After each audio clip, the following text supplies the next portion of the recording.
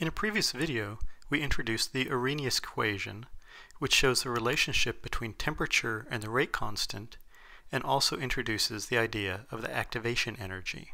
If we were to take the natural log of both sides of the Arrhenius equation and rearrange it a little bit, we would get another form of the Arrhenius equation, which looks a lot like the equation for a line y equals mx plus b. In this case, the natural log of k serves as the y values, 1 over t as the x values, and the negative activation energy over r is going to be the slope.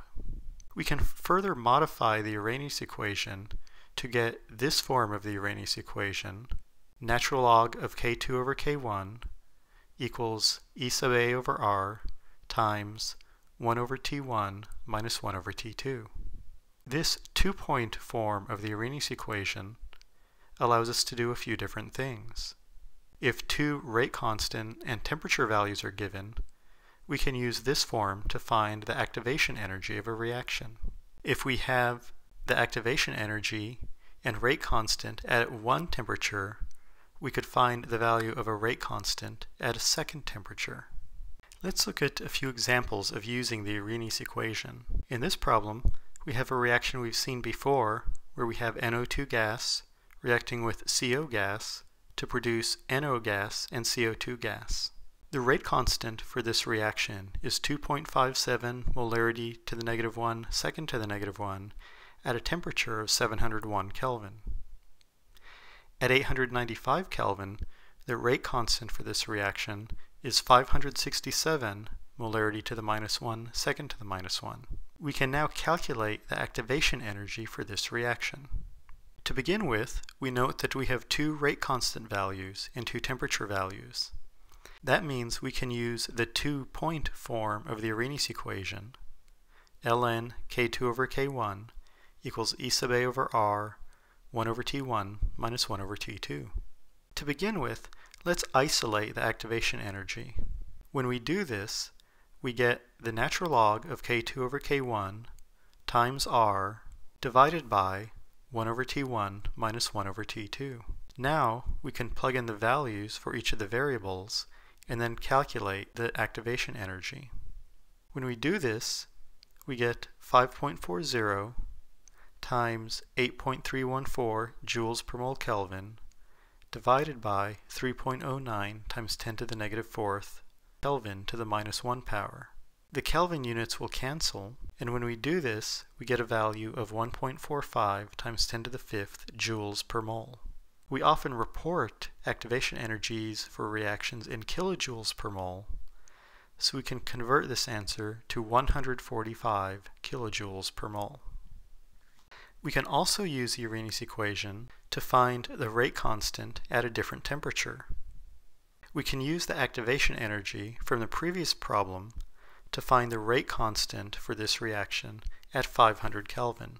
In this problem, we're given the activation energy from the previous problem, the rate constant, in this case we'll use the rate constant at 701 Kelvin, we have the initial temperature, 701 Kelvin, and we're looking for the rate constant at a second temperature, 500 Kelvin. In this case, we'll isolate the rate constant. It's important to note when working with natural logs of fractions that the natural log of a over b is equal to the natural log of a minus the natural log of b. When we use this substitution, we get ln k2 minus ln k1 equals e sub a over r times 1 over t1 minus 1 over t2. We can isolate ln k2 to get e sub a over r 1 over t1 minus 1 over t2 plus the natural log of k1. We can now plug in the values for the variables and calculate to find the value of the natural log of k2. We get 1.74 times 10 to the fourth multiplied by negative 5.73 times 10 to the negative fourth plus 0.944. When we work out that equation, we find that the natural log of k2 is negative 9.03. But we're not done yet. Remember, we were asked to find the rate constant at 500k. So far, we've only found the natural log of the rate constant. You should recall that in order to eliminate the natural log, we can use its inverse function, the exponential function e. So e to the natural log of k2 is equal to e to the negative 9.03, which gives us a value of k2 of 1.19 times 10 to the negative 4.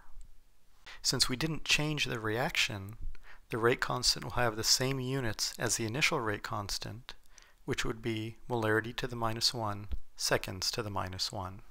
By now, you should be able to select the appropriate form of the Arrhenius equation based on the values or variables that are given to you in the problem. You should be able to use the Arrhenius equation to find the activation energy for a reaction, and you should also be able to use the Arrhenius equation to find K2 for a reaction.